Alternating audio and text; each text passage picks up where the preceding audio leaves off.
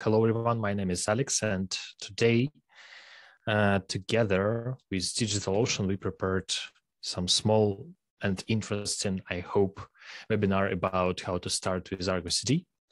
So uh, let me first of all to introduce myself. So I work as a DevOps team lead at the Naviteq company. We are working with different customers from Israel and Europe locations and even more. Um, overall in IT field, I work more than 10 years and six plus years in DevOps on a variety of projects, roles, etc. Um, I have really dive and hands-on production experience with continuous Kubernetes, and I love everything connected with CI/CD, all the tools, all the implementation. This is exactly what I like. So today um, I'm going uh, to talk with you first of all about some small theory about containers, Kubernetes, CI/CD, how do we deploy our applications in general, and how exactly Argo CD and GitOps approach can improve the team velocity. After that, we will show, I will show actually small small demo uh, on top of the Kubernetes cluster deployed in the DigitalOcean. So uh, containers, I hope that uh, we all know what is it, but anyway, I will I will probably sum up. So containers, it's really modern way to deliver our applications to between the teams to to some folks for testing and even for our clients because it allows us to create reproducible behavior with the same performance and behavior results in different environments, in different clouds, in different data centers, even on different operation systems. Um, moreover, it lightweighted and it can start in seconds. It doesn't need any hypervisor. It doesn't need to boot up the operation system. It just works when you start it. Kubernetes, it's really something modern and today it's some kind of standard to manage containers because containers management even in really big scaled environments and infrastructures can be really big headache for you. So kubernetes allows you to automate the entire workflow of the containers management like uh, resource management auto scaling security load balancing, whatever, everything which is applicable to typical system design uh, patterns. Uh, Kubernetes allows you to implement it out of the box or via some external and additional services like Gregory shown during his presentation. And today, Kubernetes is something on the container orchestration tools, which are the biggest, which is which has the biggest community over the globe including small companies, including some mm, particular developers and even even enterprise companies like Microsoft, Google, etc. So uh, CI/CD it's really something uh, trendy today. It stands for continuous integration and continuous delivery or continuous deployment process.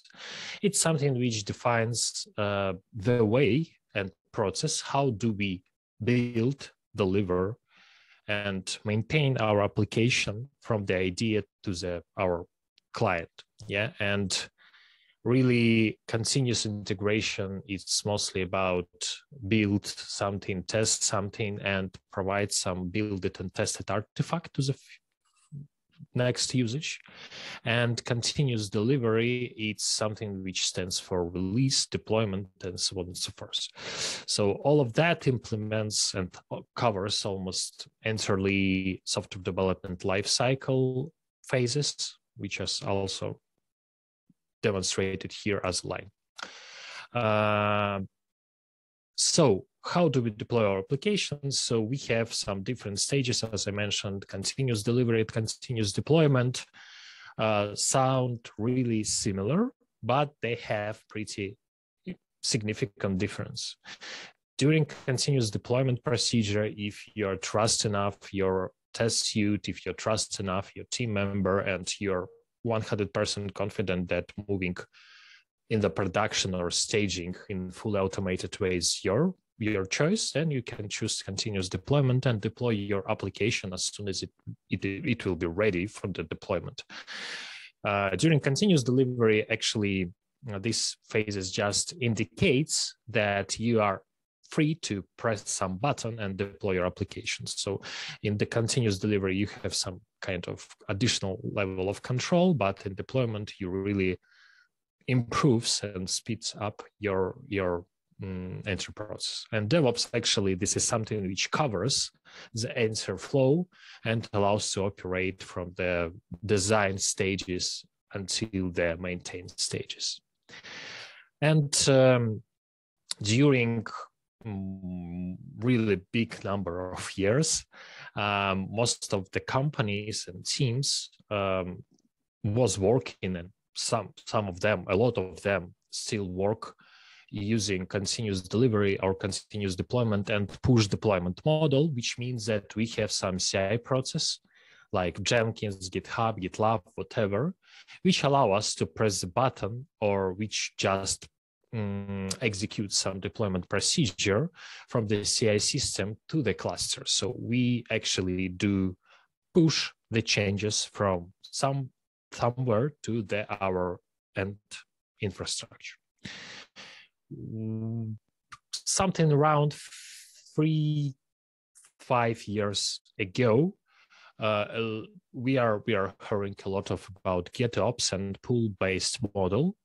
When we agreed inside the team that let's say that Git or our software version control system is our point of truth, uh, uh, point of truth, we 100% uh, believe and we are 100% confident and absolutely um, fine that all the changes which will be merged, let's say in main branch, will be automatically propagated to our application without any interruption, without any additional layer of um, pressing the button and so on and so forth. But pretty obvious that in that case, we need to take care about the quality of the code which goes to the main branch. I mean, code review process. I mean, really really good testing suits different kind of tests and so on and so forth.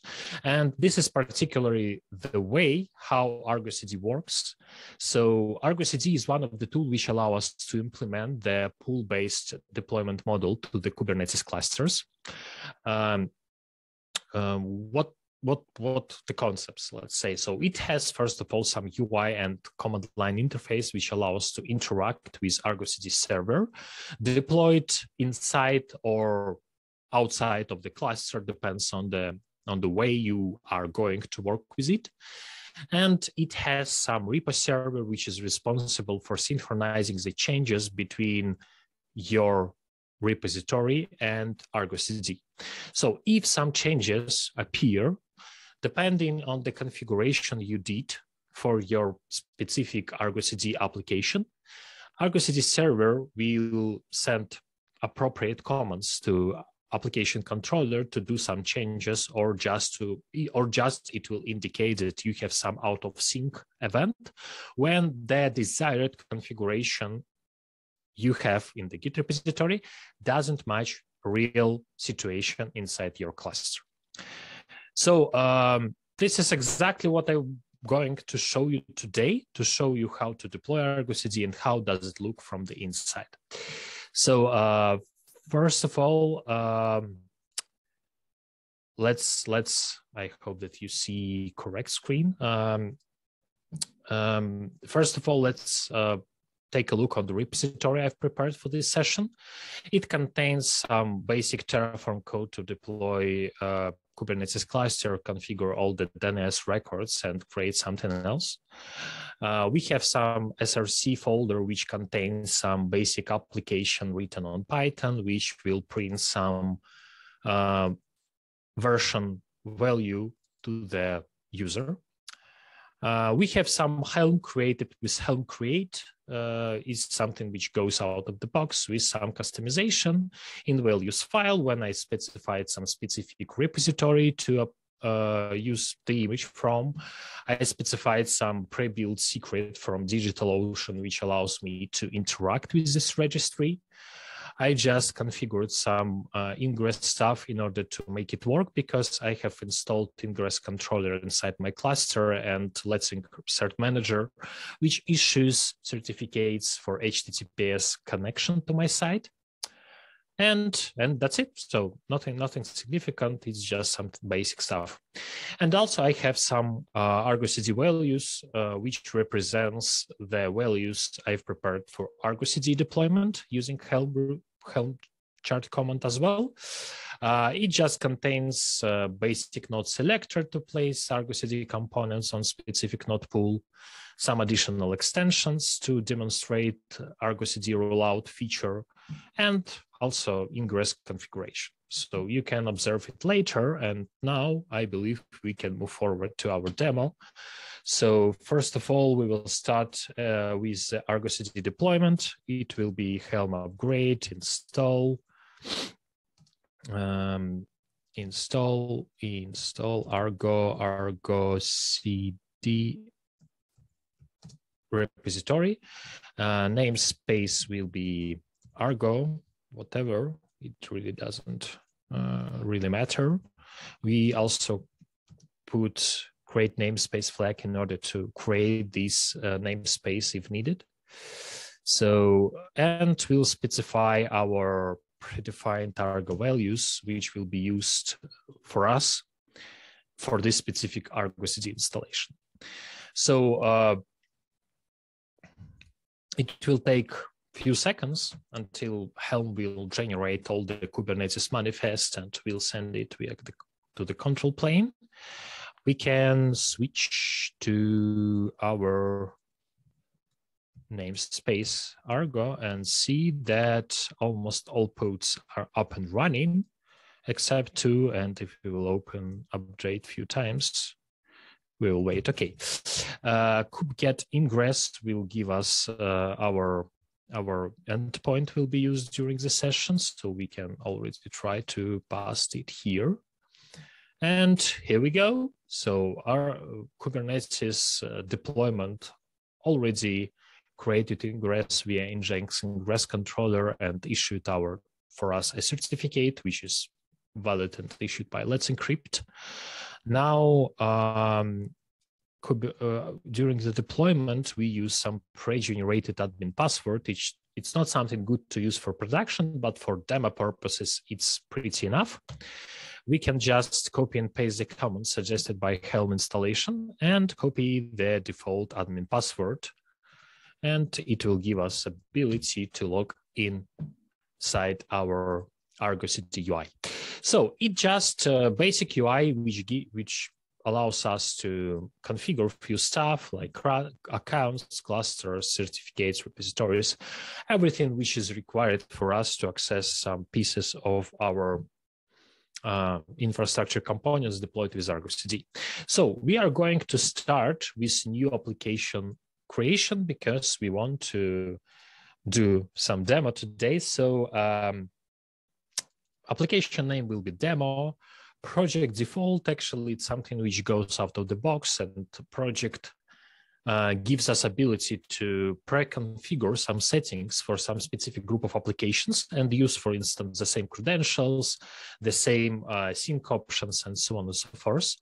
In sync policy, we will choose automatic. It means that automatically Argo will delete all resources which are not all not longer defined in Git, and it will self-heal the application if uh, some deviation of the cluster state will be detected. Also, let's click auto create namespace in order to auto create namespace. In the repository URL, we will just copy and paste HTTP endpoint of our repository. Revision will be main and path will be helm, which means that Argo CD will just make change directory to here and will try to install this helm release inside. In uh, cluster destination, we will choose name and in cluster because Argo CD is deployed in the same cluster we want to perform the deployment of application and namespace will be application. That's it. Now we can click create. It will initiate some process and uh, all, all, all, all, already you see that Argo in lifetime uh, uploaded all the changes, uh, detected all the kinds. It should create like service, service account deployment, ingress. And right now we see that Argo CD secret is in progress of issuing. It already deployed some replica set and pod, which is healthy already, and it's ready to use. We just need to wait a few seconds and Argo CD is green. So it means that starting for now, we can switch our namespace to the, I don't remember demo, it was our application, application probably. Yes. And here we can get ingress, copy URL. And if we will go here, we will see our hello message from the application release 1.0.0. So um, let's try to probably make some kind of new rollout.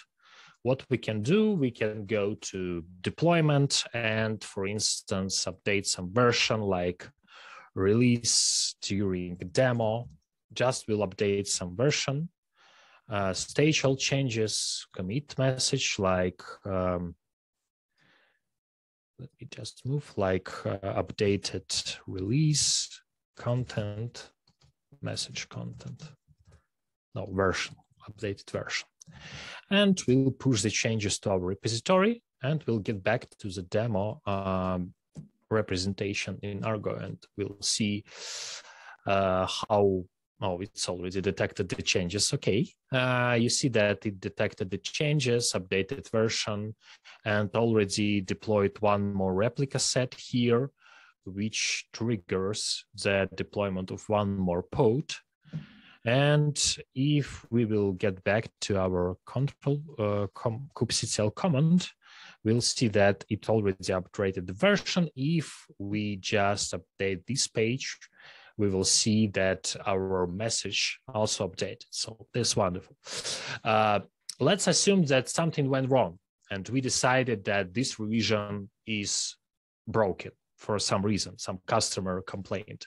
What we can do, we have actually two options. The first option is preferable option, but it can be longer sometimes. We need to undo or revert our latest commit to the main branch or fix the issue via some pull request and merge it to main, and then Argo will upgrade the version. But as far as our first priority is uptime and our clients, we would probably need to some faster faster solution. So what we can do, we can just go to our demo application, um, and here, not not here, we need to go demo deployment. No uh where is it? I forgot uh history rollback okay.